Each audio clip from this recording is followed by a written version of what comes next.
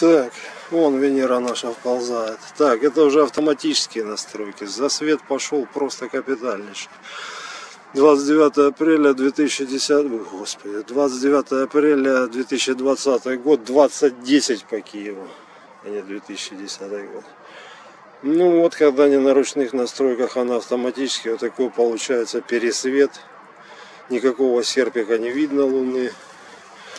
Честно говоря, даже не особо интересно снимать. Только что я снял дубль на ручных настройках, и там серп четко был виден. А сейчас это реально похоже на какую-то звезду смерти. Ладно, сейчас быстренько.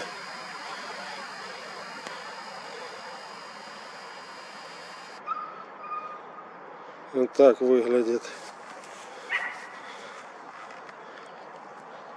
Где луна?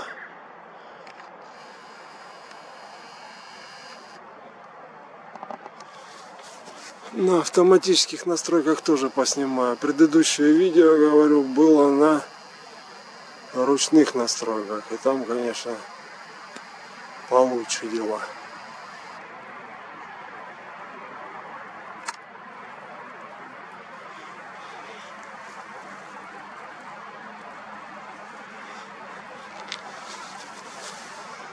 Здесь какой-то мрак. Не фокусируется, да? Это расплывчато. А ну попробую колесико покрутить. Ну так лучше, по-моему, да?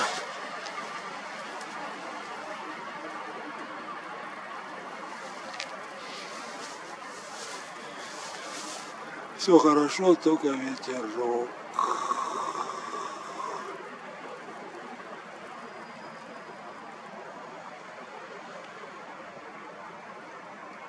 Это дрожание это на ветер помогает, то есть мешает.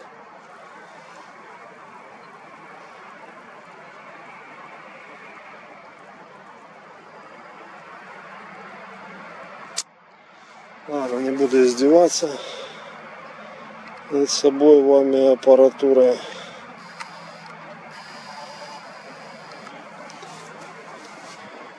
Сейчас еще разок сниму третьим дублем Венеру.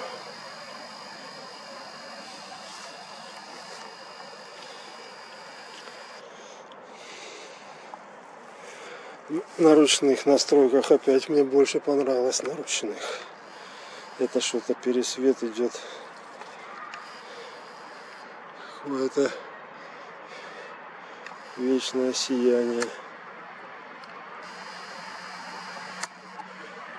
Еще раз говорю, то есть постоянно это Венера, это сто процентов Венера. Я, не, конечно, не спец в этих всех астрономических делах, но Венеру вообще спутать практически ни с чем невозможно, я не знаю. Она единственная сейчас на небосводе видна. Сейчас попробую подкрутить. Хуже, хуже, хуже. Но где-то так, да, это все, что сейчас можно выжать при этих автофокусировках, автонастройках, вернее. Вон сияние какое пошло. Ужас.